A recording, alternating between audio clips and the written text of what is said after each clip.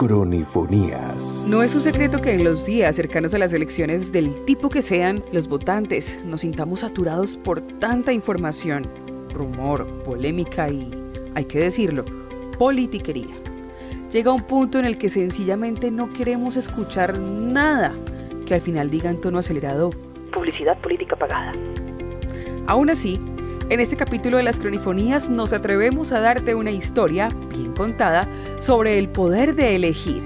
Soy Claudia Brito y te doy la bienvenida a un nuevo episodio del podcast de la Crónica del Quindío en el que vamos a hablar de algo que por naturaleza a todos los humanos nos gusta, el poder.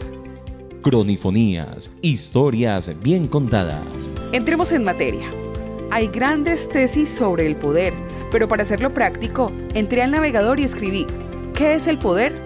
Esto me dice el famoso Wikipedia. Para las ciencias sociales, el poder es la capacidad de un individuo para influir en el comportamiento de otras personas u organizaciones sociales. El término autoridad se usa a menudo para designar al poder cuando es percibido como legítimo. El concepto no está lejos de la realidad y para vincularlo al título de esta cronifonía, hagamos uso de la memoria histórica, entendiendo por qué a las mujeres se nos dio el poder de votar. Te presento a la periodista investigadora Betty Martínez, directora de la misión de observación electoral MOE en el Quindío. Cronifonías, el podcast. Nosotros apenas en el año 56 reconocimos a las mujeres como ciudadanas, eh, es decir, que tenían cédula y en el 57 apenas se pudo votar en un proceso electoral. Pero la razón por la que votaron las mujeres en el, en el proceso electoral del 57, el plebiscito del 57, que fue el, el primer proceso donde pudieron votar las mujeres, es porque ya se venían los vientos revolucionarios y las mujeres fueron vistas como un caudal político para, contribuir a las elecciones. Entonces, en ese entendido que era un caudal político importante es que eh, se da la participación de las mujeres. Es la primera vez que se reconoce sus derechos ciudadanos y es la primera vez en que participan en un proceso electoral. Pero eso ya venía desde la época del Papa Pío X, que fue entendiendo que el comunismo era una amenaza y que una manera de aumentar el caudal electoral en el mundo democrático era precisamente permitiendo que las mujeres votaran, porque había muchos países que no, donde las mujeres no votaban y entonces todo esto tiene que ver con las luchas de las mujeres sufragistas, primero en Inglaterra y después en Estados Unidos y eso se va extendiendo a, a los diferentes países y llegan finalmente a, a, Colombia, donde en los años, en 1936 se hace el primer Congreso Iberoamericano de Mujeres, donde se empiezan a dar las primeras discusiones eh, sobre el papel de las mujeres en la sociedad. Ese congreso fue muy importante porque en él lo, lo auspició Jorge Eliezer Gaitán.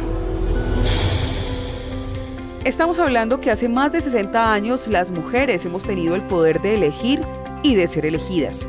Sin embargo, llama la atención que, aunque somos mayoría en temas de densidad poblacional, en Colombia nunca hemos sido gobernadas por una mujer. Momento de escuchar a Ana María Gómez Incapié, abogada y líder feminista, haciendo una reflexión al respecto.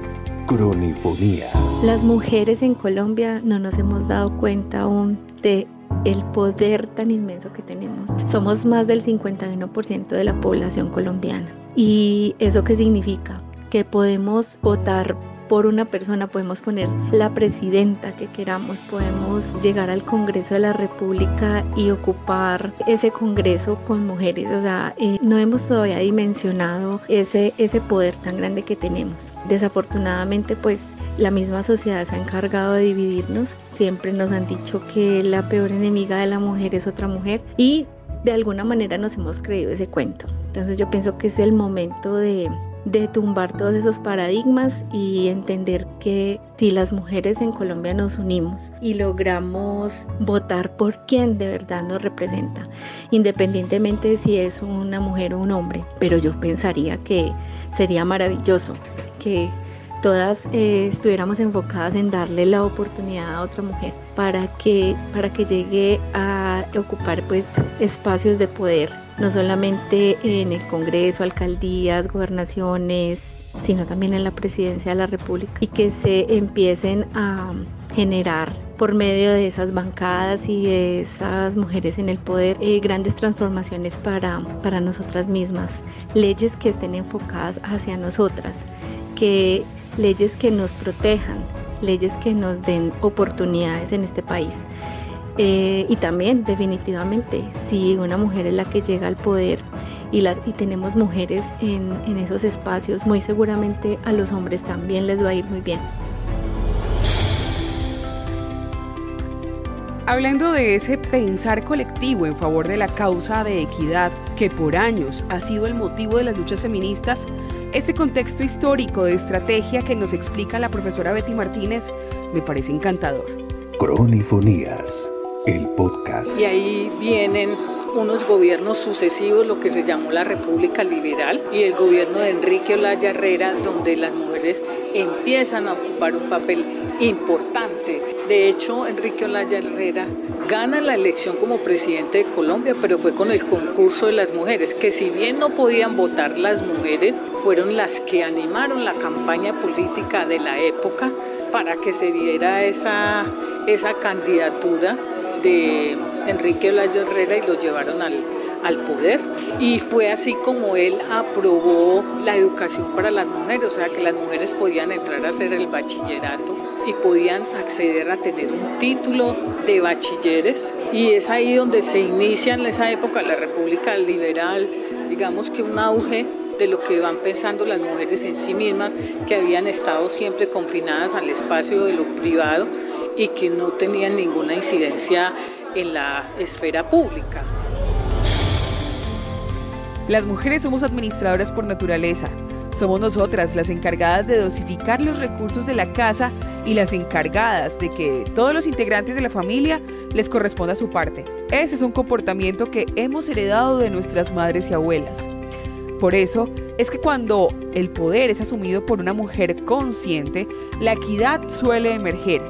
Por más que ese discurso patriarcal, que hace mucho eco en la sociedad, se empeñe en decir que no hay nada peor que una mujer de jefe. Cronifonías. El que las mujeres lleguemos a espacios de poder no solamente garantiza condiciones favorables para las mismas mujeres, también garantiza condiciones favorables para los hombres. Pues cosa que no está sucediendo en este momento, porque cuando los hombres legislan, no están legislando conscientemente para nosotras las mujeres. Las mujeres cuando llegamos a espacios de poder, miramos, tenemos una visión muy diferente de la sociedad, porque por naturaleza nosotras somos cuidadoras, entonces siempre se propende por eso, por el cuidado, por buscar que todas las personas que están a nuestro alrededor, independientemente de si son mujeres hombres van a estar en condiciones de igualdad. Esa es una de las garantías. Desafortunadamente en este país hemos podido ver que espacios como el Congreso de la República han llegado mujeres que de alguna manera no se han identificado con las mismas mujeres. Hemos visto senadoras congresistas que,